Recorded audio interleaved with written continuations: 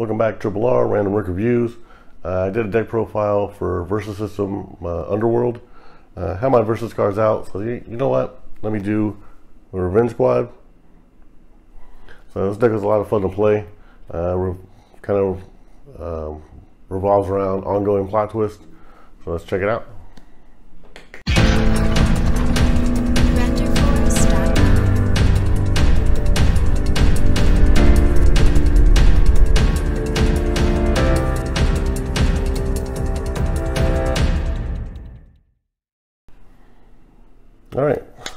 I only have one one drop for this deck, which is Hope, and it comes out one, that's fine. Uh, it's a lot of characters in this deck. On two, you have Chairman. It's pretty important to the deck, so you run four of. Two Atomic Skulls, terrible stats, but a great effect once you get your uh, ongoing plot twist out. Uh, one Natasha Irons, Mr. Mxyzptlk, who becomes free over and over again. Two Satanus. So, pretty bad defense, but being six, he can upswing pretty good. Mongul. And a Parasite. And Silver Banshee, whose effect uh, I don't think I've ever seen go off, but a couple of Power Elite armors.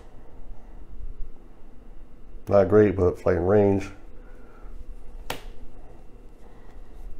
Or four drops, two Livewire, two Maxima, and two Metallos, but so you got this one, deals with equipment and I'm telling you, it has some burn on it. For five, we run Lex. And Hank Henshaw. For six, we run Brainiac 2.5, who has the ability, well, should have the ability just to kill out their six drop. Doomsday an eradicator. So usually done by turn six, but if not, seven, we have Zod, Brainiac 13, and Indigo.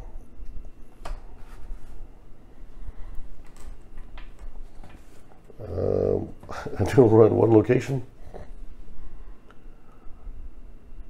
So reason for only one location, you really want ongoing plot twists, not a location. In your resource row, uh, for non-ongoing, I still hate magic, flying kick, and three future shot. And for ongoing, three revenge pact, Battle for Metropolis, which is pretty much key. Get a couple of these out, and you're, you're rolling pretty good. Thanagarian Invasion, also pretty good. Unmasked. Blood in the Dark. Imprisoned in the Source. Lazaro Ray. Standoff. Political Pressure. Oh, so two was already. Never Ending Battle. Hostile Takeover. Two Death of Superman. Hostage Situation. And I actually run New Mutants. Oh, there you have it.